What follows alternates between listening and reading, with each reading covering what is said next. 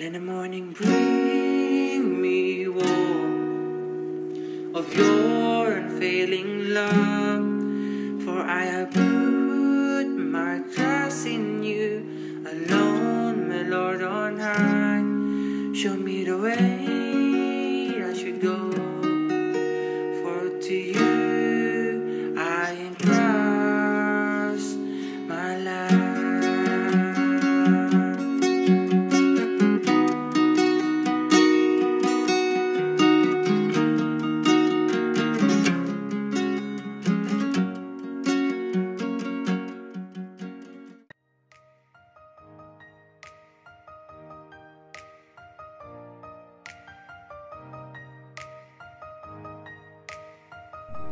So here we are, the remnants.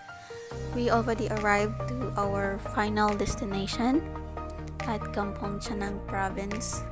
When we arrived there, um, we have the moment of worshiping God first before we start, and of course, praising Him for who He is in front of many.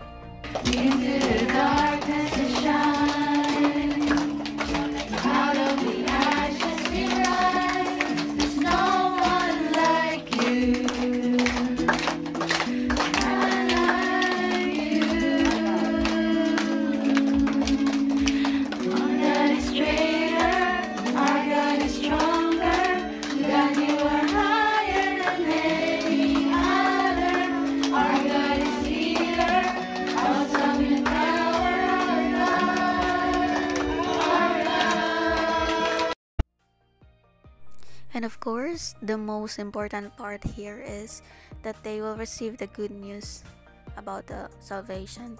So we shared about the bracelet of salvation.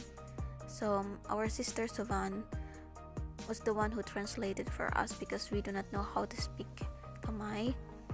And there, they receive it. We explain about the bracelet, about each color of the bracelet. First is yellow. It reminds us of heaven. God loves us and wants us all to be in heaven with Him.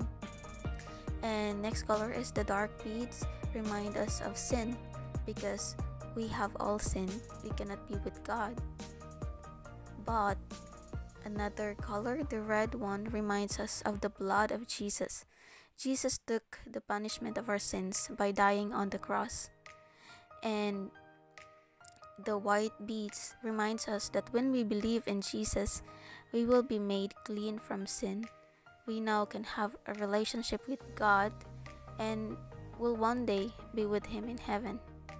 And the last bead, the green bead reminds us that it is important to grow in our relationship with Jesus by praying, reading the Bible, and fellowshipping with um, co believers of Christ.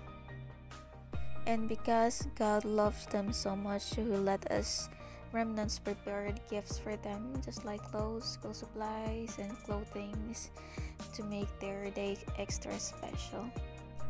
Part of our um, city ministry is, of course, laying hands on them, blessing them, and praying for them because God said that we shall lay hands on them and they will recover.